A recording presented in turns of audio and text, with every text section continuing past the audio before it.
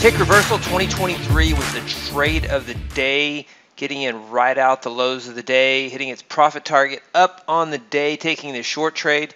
Today was a day to short the gap up. Market moved higher overnight, trying to take out yesterday's highs. After selling off, the market was propped up yesterday. We see that sell off, prop up. Usually get a gap down. We got a gap up instead, and then the market went to where it was trying to go yesterday today. And so let's look at the results on the day.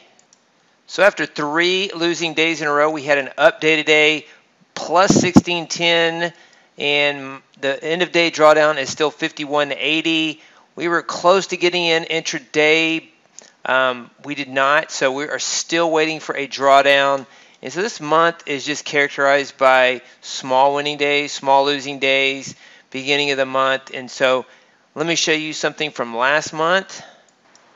Here are the daily P&Ls we're used to seeing. They are more in the five-figure range. You can see historically, um, you know, going back to December plus five-figure days, you see negative five-figure days in here. And so uh, minus 15,000 there, plus 14,000, plus 11,000.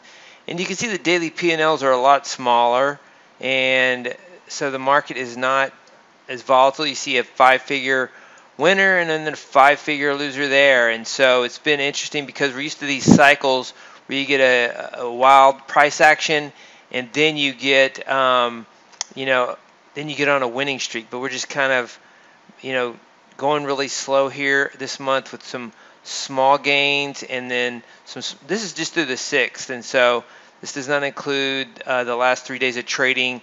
Let's see, 7th, 8th were losers, and then the 9th today was a small winner. So we're still looking to phase in. We've almost done that a couple of times.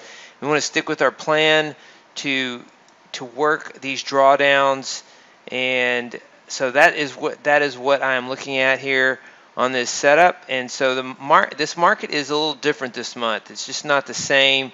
It doesn't have the same intensity of the moves. Um, more range bound, less volatile in the account. And so let's go to the trades on the day. There was a long winner on Viper and then three short winners. It was up on the day by 500. AT 2020 down on the day minus 725. Tick pullback. It was also uh, down on the day. Took the long trade up here. Stopped out as the market rolled over.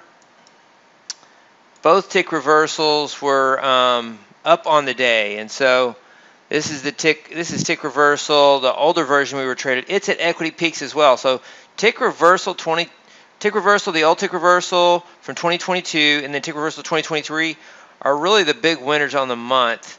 Uh, most of the other strategies are kind of well. Viper is Viper is doing well also. Uh, went on a very hot streak and then had a drawdown, so it's good time maybe to get in on Viper. And let's see, EVP one it had another losing day. It was it had this huge day right here, and then it's pulled back since. Might be a good time to start EVP one if we're looking at individual systems, Viper, and then EVP one. Um, you know, strategies like tick reversal, they're due for a little bit of a drawdown because this has gone straight up here. Doesn't usually go this. Doesn't usually go straight up like this, and you know this is you know straight up as well. And then Viper was on a hot streak, it's pulled back. EVP1 on a pretty good streak, it pulled back, started to go, and then to pull back. And so EVP1 and Viper could be two strategies that would take off in this market. Um, could be some system rotation. ES, only one strategy traded. Tick fader, small gain here on the short side, plus 375. So once again, these are the trades on the day.